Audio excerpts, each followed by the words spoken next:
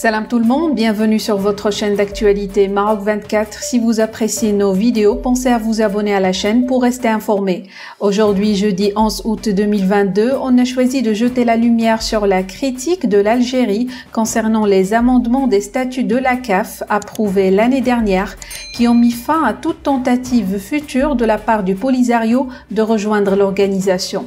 En s'adressant au président de l'instance panafricaine, le sud-africain Patrice Motsepe, le nouveau patron de la FAF, Jahid Zefzef, est parti dans un délire schizophrénique, imaginatif et surtout mégalomaniaque. Plus de détails dans cette revue de presse tirée des sites d'information Blady, le 360 et Foot Afrique.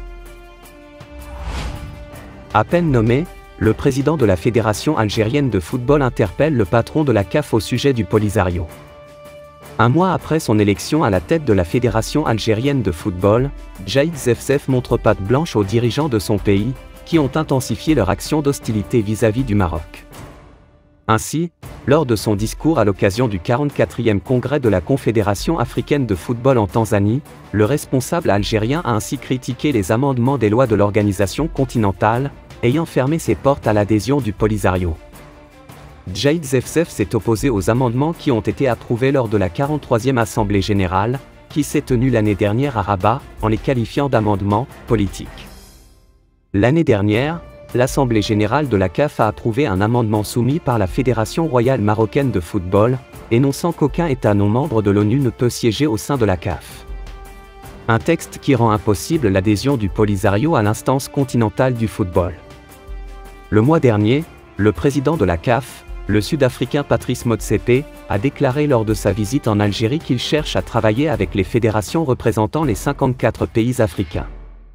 Une reconnaissance pour lui des amendements approuvés lors du conclave tenu au Maroc.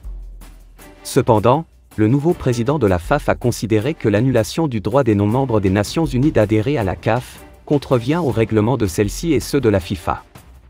Il a dans ce sens appelé à annuler le vote sur l'article 4, ou à faire un amendement partiel conformément à la volonté du pays membre de la CAF, c'est-à-dire l'Algérie.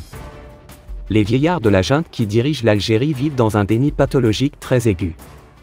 En Afrique, ils n'ont plus qu'une poignée de soutien ne dépassant pas les doigts d'une seule main.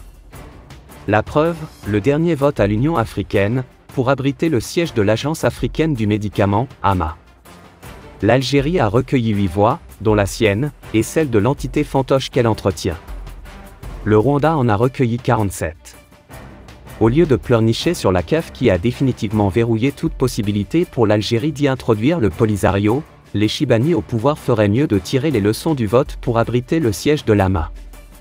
Avec huit voix, ils doivent déjà ressentir les prémices de la douleur d'un vote autrement plus important et inexorable, l'extraction du corps étranger qui gangrène l'Union africaine depuis la forfaiture de 1982. Pour rester informé, je vous invite à regarder les vidéos Maroc 24 qui s'affichent sur votre écran.